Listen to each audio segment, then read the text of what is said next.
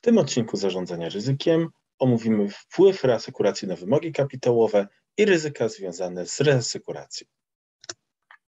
Zacznijmy od tej pierwszej części związanej z wymogami kapitałowymi.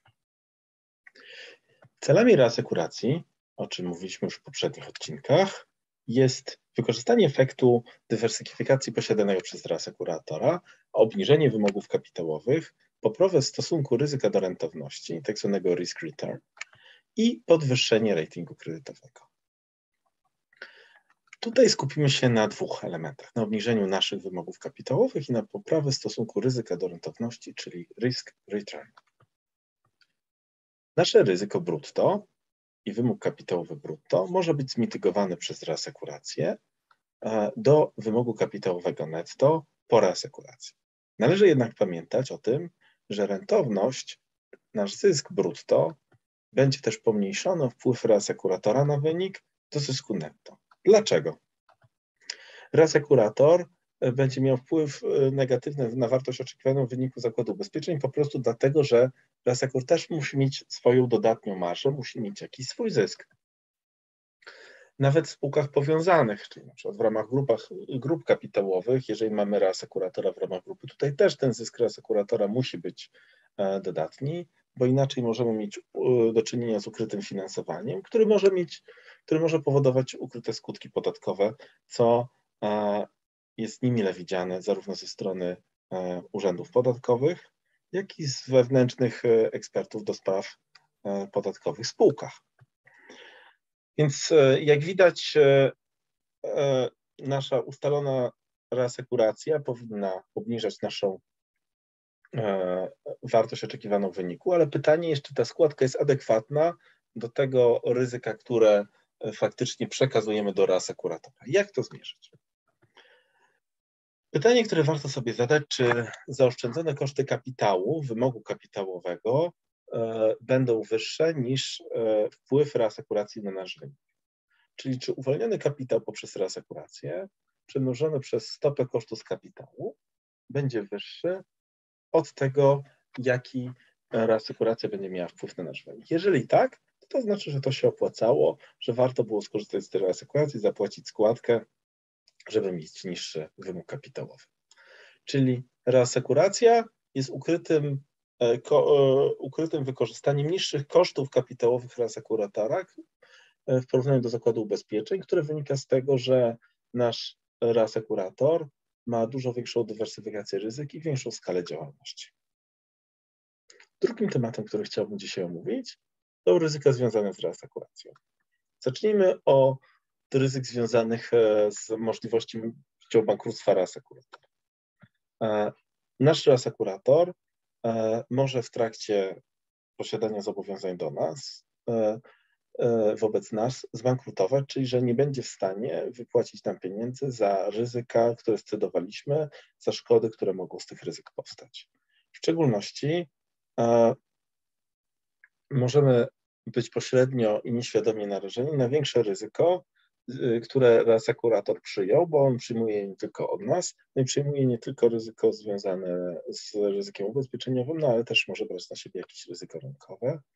I niewypłacalność reasekuratora, co istotne, e, ma większą szansę nastąpić nie w sytuacjach zwykłych, tylko w sytuacjach ekstremalnych, czyli sytuacjach właśnie, których będziemy go najbardziej potrzebować, czyli w przypadku na przykład bardzo silnej powodzi. Jak możemy próbować obniżyć e, ryzyko kredytowe reasekuratora? Możemy po pierwsze brać pod uwagę ratingi reasekuratorów, czyli brać tych reasekuratorów o naj, lepszym, e, najlepszym ratingu kredytowym. E, możemy też rozproszyć naszą reasekurację na wielu partnerów. Trzeba patrzeć też na to, żeby ci partnerzy nie byli ze sobą powiązani. I możemy wykorzystać dodatkowe zabezpieczenia, na przykład depozyt reasekuracyjny, który będzie na naszych, e, na naszych rachunkach, którego będziemy mogli skorzystać w wypadku tego, gdyby reasekurator nie był w stanie zapłacić. Innymi ryzykami związanymi z reasekuracją, które są istotne, są ryzyka operacyjne. Możemy, i to się zdarza, mieć błędy w zapis, błędne zapisy w umowie reasekuracyjnej, czyli nie będziemy mieli właściwego pokrycia lub będziemy mieli jakieś luki w tym pokryciu. Możemy mieć też błędy związane z tym, że przekroczymy nasze limity reasekuracji, nawet jeżeli umowa jest podpisana właściwie reasekuracyjna, to nasz underwriting będzie błędny i przekroczy tą reasekurację obligatoryjną, którą mamy i jednocześnie zapomnimy, nie, nie zostanie zawarta dodatkowa umowa reasekuracji fakultatywnej, będziemy mieli lukę w pokryciu na tą dużą ekspozycję, którą przyjęliśmy do ubezpieczenia. To, co może się zdarzyć, co jest mniej prawdopodobne, ale mimo wszystko trzeba to brać pod uwagę, to to, że reasekuracja najczęściej zawierana jest na okres danego roku kalendarzowego, a niektóre ryzyka mogą ciągnąć się dłużej i oznacza to, że niekoniecznie w kolejnym roku będziemy w stanie pozyskać pokrycie reasekuracyjne w tej samej cenie, na tych samych warunkach. W ekstremalnych przypadkach może zdarzyć się nawet tak, że reasekuratorzy nie będą chcieli już danego ryzyka przyjmować. Kolejnym ryzykiem, które warto poruszyć w ramach e, rozmawiania o ryzykach związanych z reasekuracją, to są ryzyka płynności. Może nastąpić opóźnienie między koniecznością wypłaty przez nas e, odszkodowania, a tym, kiedy dostaniemy od reasekuratora jego e, udział w szkodzie.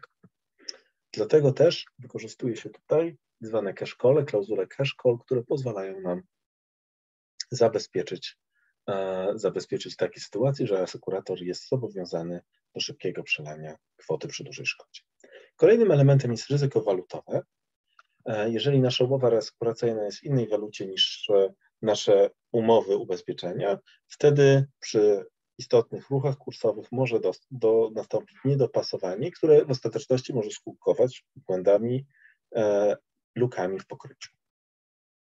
Mamy też ryzyko prawne, gdzie reasekurator może podlegać innemu reżimowi prawnemu niż zakład ubezpieczeń, e, co też jest odzwierciedlone w naszych regulacjach europejskich, e, w których to e, wybieramy reasekuratorów, którzy są w ramach europejskiego obszaru gospodarczego lub w systemach równoważnych, żeby ta jurysdykcja faktycznie była dla nas bezpieczna.